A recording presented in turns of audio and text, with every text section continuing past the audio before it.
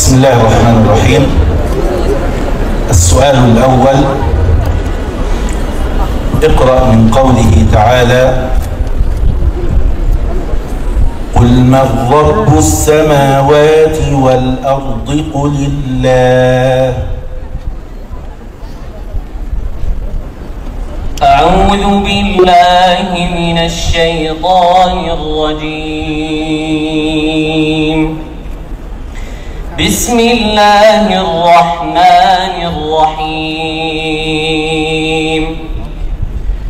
قل من رب السماوات والأرض؟ قل الله.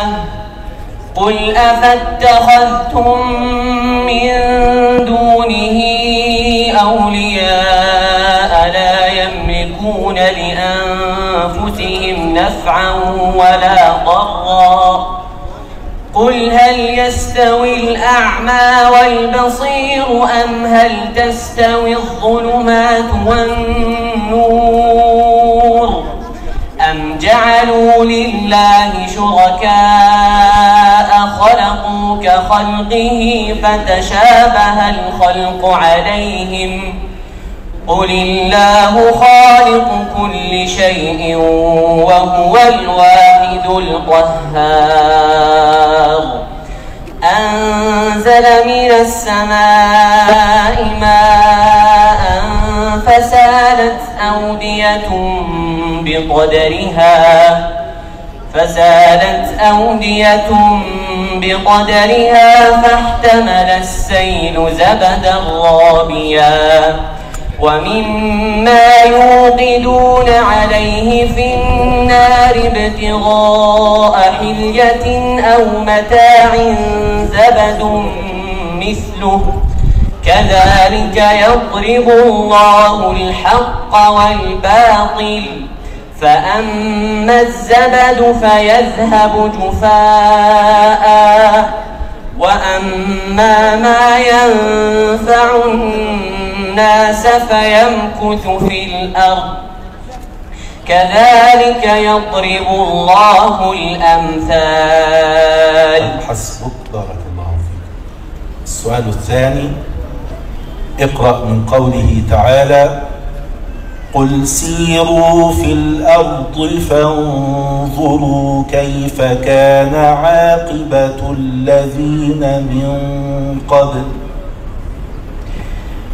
قل سيروا في الأرض فانظروا كيف كان عاقبة الذين من قبل كان أكثرهم مشركين. فأقم وجهك للدين القيم من قبل أن يأتي يوم لا مرد له من الله. يومئذ يصدعون. من كفر فعليه كفره ومن عمل صالحا فلأنفسهم يمهدون. ليجزي الذين آمنوا وعملوا الصالحات من فضله إنه لا يحب الكافرين. ومن آياته أن يرسل الرياح مبشرات وليذيقكم من رحمته وليذيقكم من رحمته ولتجري الفلك بأمره ولتجري الفلك بأمره ولتبتغوا من فضله ولعلكم تشكرون. ولقد أرسلنا من قبلك رسلا إلى قومهم فجاءوهم بالبينات فجاءوهم بالبينات فانتقمنا من الذين أجرموا وكان حقا علينا نصر المؤمنين. حسبك بارك سنكتفي بسؤالين إن شاء الله لأنها تصفية نهائية الله أكبر.